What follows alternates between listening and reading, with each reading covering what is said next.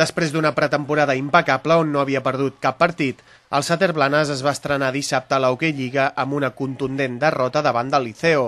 De fet, tot i que després del gol inicial de Barreiros, el Blanes va empatar amb aquesta genialitat de Jepi Selva i hauria pogut avançar-se amb aquesta falta directa que llança Dani Rodríguez, de seguida es va veure que les tres baixes per sanció de l'equip serien una llosa massa pesada pels blanencs. Amb l'1-1 al marcador va ser l'argentí Pablo Álvarez l'encarregat de desfer la igualada a passada de Marc Gual, i tot i que el Blanes va aguantar bé durant uns minuts aquest resultat, dos gols més de Gual i Álvarez al tram final de la primera meitat van començar a sentenciar el maig. Ens han matat, aquí ens han matat. Eh, també donava de que l'equip estava molt cansat. Vull dir, avui, el no tenir pràcticament rotacions de canvis, hem arribat al final de cada part molt, molt cansats. Càstig fort, també poder, havíem plantejat el partit per començar un ritme més lent i ens hem vist una mica valents al principi perquè semblava que arribàvem i això ens ha portat a portar un ritme molt accelerat i al final ho hem pagat. Vull dir, en aquest tipus de partits s'has de ser intel·ligent i encara que vegis les situacions molt clares al principi, doncs saber que el partit és molt llarg i penso que els, els dos primers gols ens han fet molt de mal.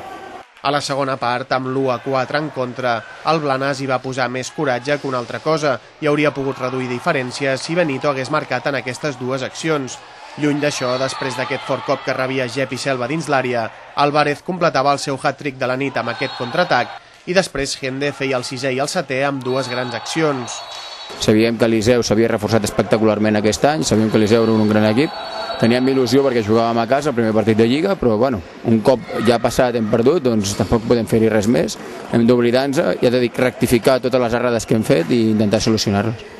Amb el partit ja perdut, Francesc Socarrats va començar les rotacions que fins llavors no s'havien produït i va fer entrar a Fran González, que va provocar un penal i una falta directa que va transformar Dani Rodríguez per maquillar una mica el marcador. Al final del maig, l'entrenador del Liceo, Carlos Gil, també reconeixia que les baixes dels Sater Blanes els havien ajudat a endur-se la victòria.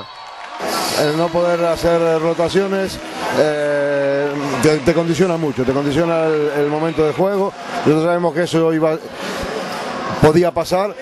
Por eso intentamos ir haciendo más largo el partido y más largo el partido sin precipitarnos porque sabíamos de esa desventaja, porque faltándote tres jugadores las rotaciones son casi imposibles.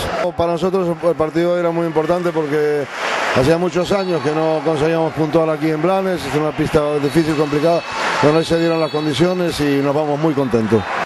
Després d'aquesta primera derrota de la temporada, el Sater Blanes ocupa provisionalment l'última posició de la taula de l'Hockey Lliga, tot i que Francesc Socarrats confia sumar ja algun punt la setmana que ve a la visita que fan al Camp del Noia amb tot l'equip.